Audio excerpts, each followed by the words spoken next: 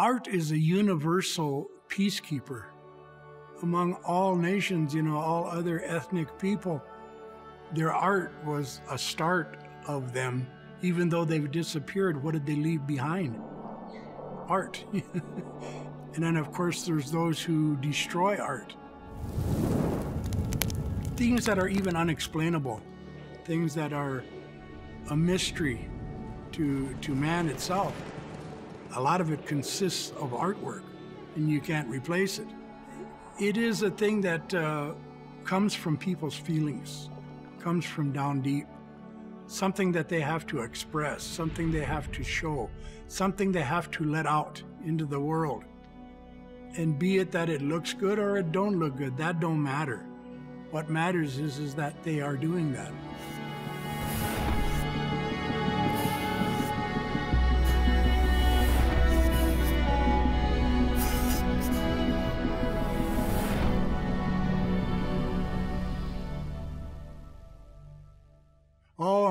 God, I work with anything.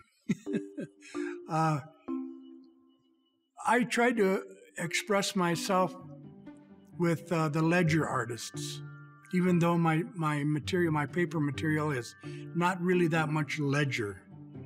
Mine's a lot of documents, uh, marriage license, uh, bonds, uh, certificates, uh, different kind of categories of such. The only thing I can really say is I try to make things to where it can go behind glass and hang on a wall. It's not sticking out all over the place. But as far as um, the procedure of doing a piece of artwork, it's it's hard to say because I add to a picture, I take away from a picture, I move things around in a picture, I I throw the whole thing away. or I start all over. I don't I never really throw anything away. Or I start all over and try to get it right or do it better. But the factor of just doing a piece of artwork, it's sometimes just what I see. Sometimes I could be looking at the stars. Sometimes I could be looking at a mountain. You know, sometimes I see animals run by. You know, it, it's just what hits you at the moment. You know, and I guess finding the position for certain things of adornment in a picture just has to depend on whether you put it here, put it there, take it, put it over here, put it over here, like a jigsaw puzzle. I grab something, I explore different angles with it or different, you know, positions with it. Uh, I never, I try to work on maybe five or six pieces at once. And if it don't go here, maybe it goes there. If it don't go uh, down the line know, and then hopefully I find the right spot for it. Otherwise, it goes in the pile next month. it helps me to know that there are other artists out there that are not doing what I do, but they're doing something to say, wow, he's part of that category. You know, I figure I'm part of the category of ledger artists because I try my best to do what I can with that involved in my art. Native Americanism, tribal art, uh, history. We got to remember that a lot of this artwork that I've done has a story, a legend. It's folklore, it's history, it's our past, maybe our future. And, and you know, it, it has its own meaning. In history, in 1862, they hung 38 warriors in Mankato, Minnesota. And when I go to make a picture about that, there's the number 38 plus 2. And I go around to coin stores and find pennies with the date 1862. And all these things that have Native American meaning because it is a Native American piece are installed in this picture to make it the story, to make it be told of that situation. Those 1862 pennies are all the year that it happened. The 38 pennies is how many were hung.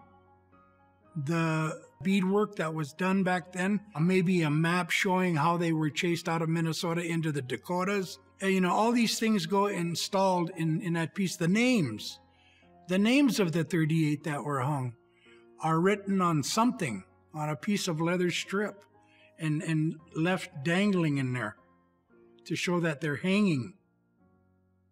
You know, all this represents that piece. And we're just talking about the hanging of the 38. Wounded Knee, that could be another one of, you know, the, the gra- mass grave and stuff. All these things that uh, happen, I try to install into the picture something from that time period or something that has to do with that time period or information from that time period or just right, you know, the story alone itself.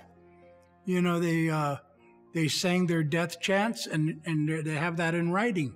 You could put that up in the corner and, and such, the, the death chant that they sang and, and, and just anything that you can find and put together in that picture that represents that time. And that's just one of many things. Like the missing, murdered indigenous women. You know, you look at that and then when you, you maybe you have a hard time wondering, okay, what is this about? And once you say murdered eh, or missing indigenous women, it just pretty much comes to you what they're talking about, what I tried to install, what I tried to put across there. These women back here that uh, murdered and missing indigenous women, that is real hair in there. Um, I try not to uh, falsify my art as such of beadwork. I don't use plastic beads.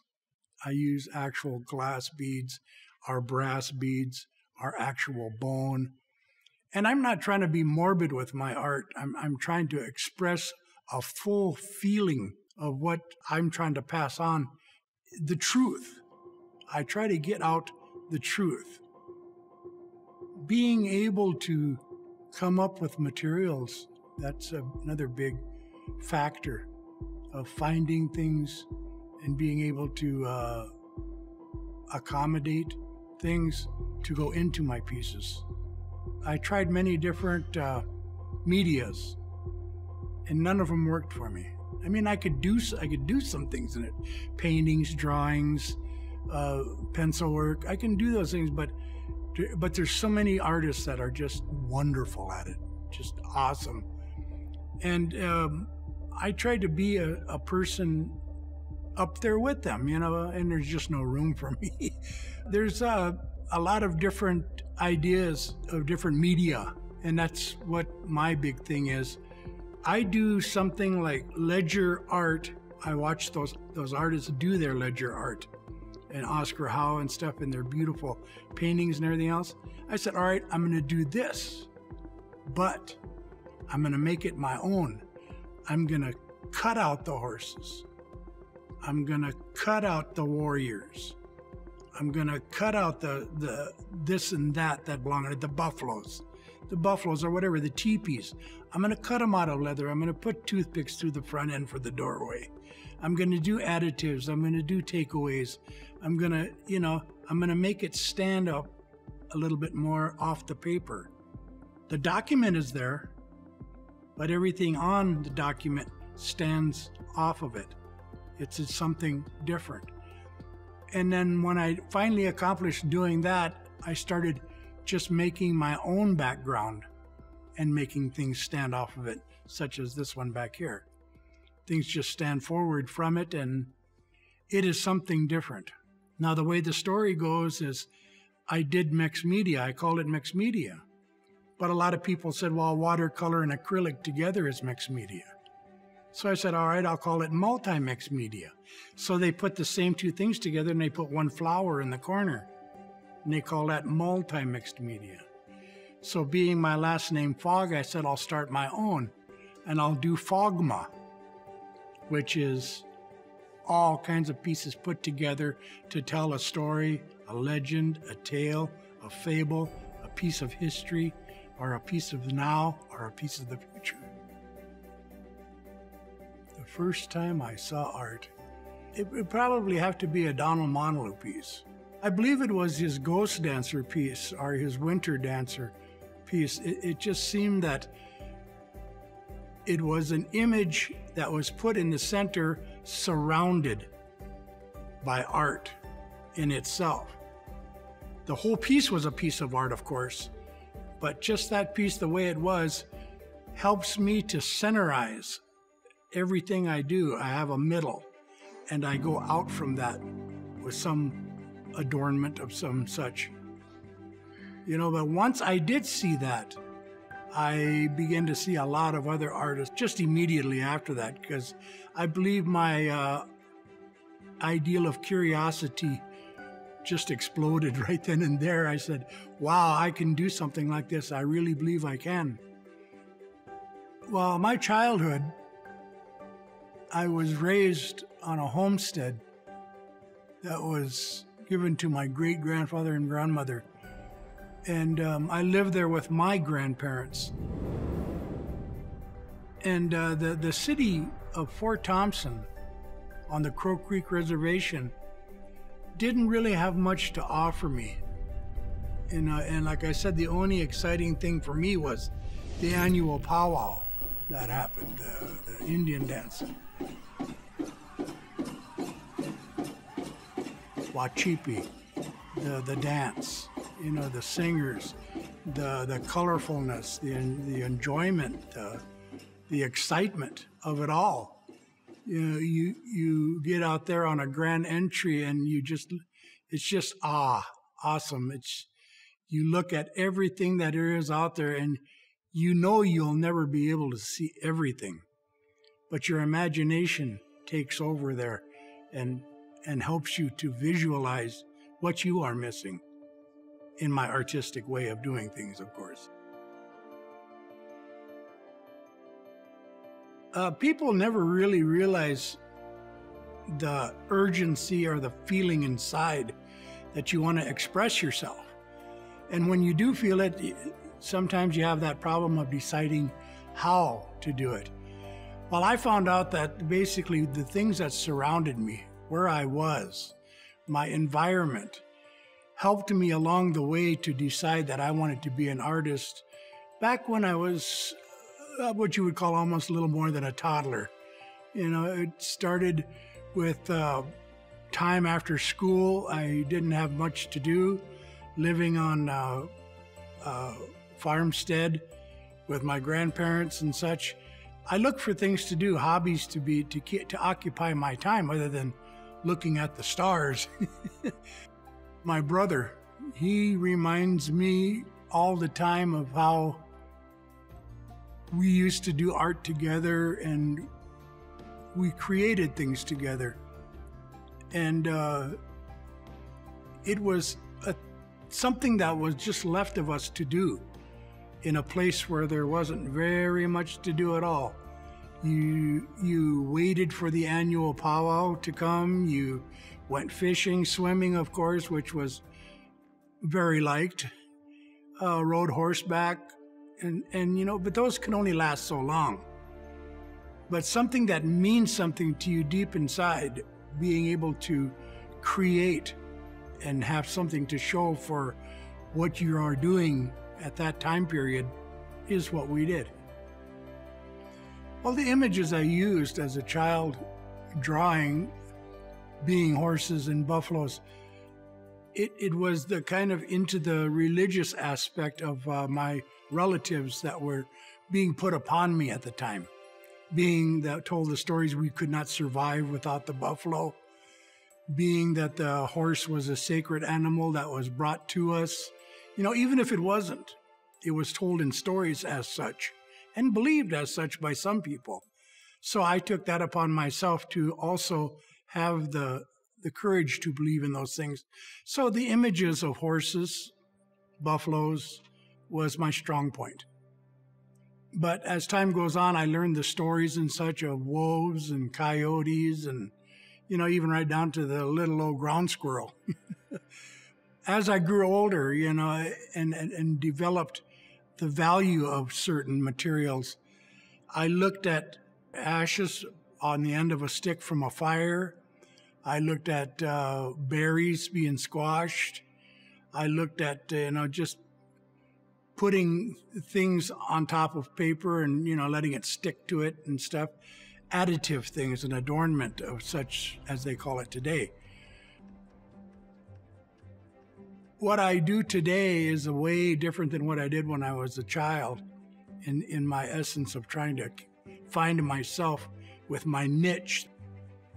And as I grew older, my uh, and my artistic abilities kind of arose.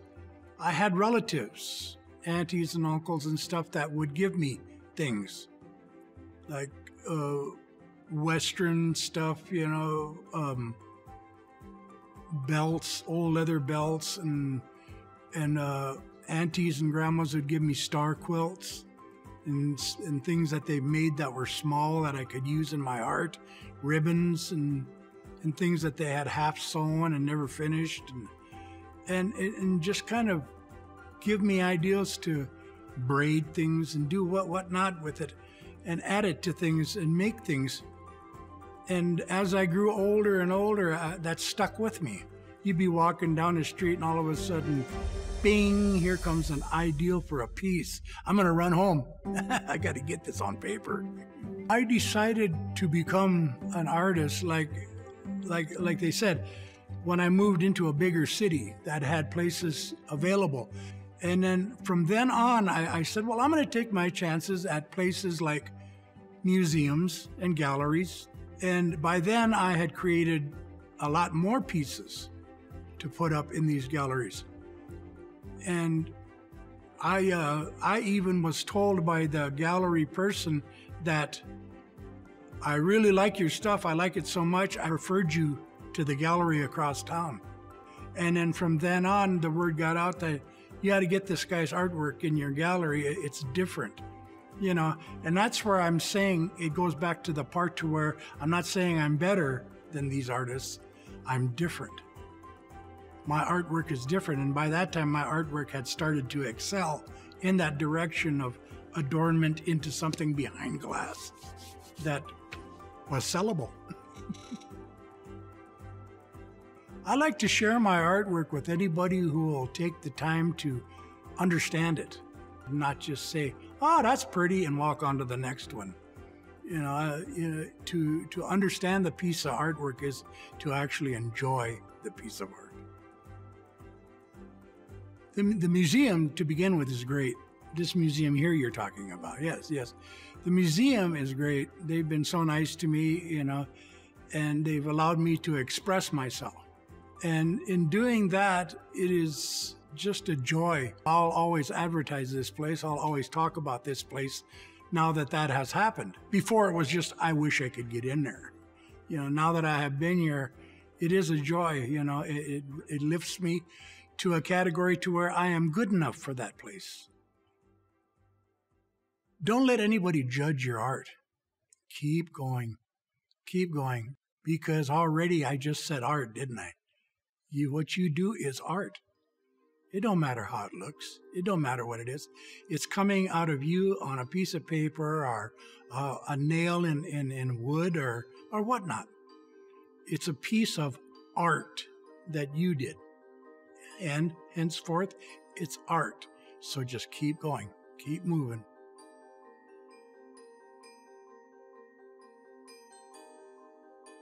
You know, the thing I'd like to say to children about being artists is if you're going to be an artist, be an artist.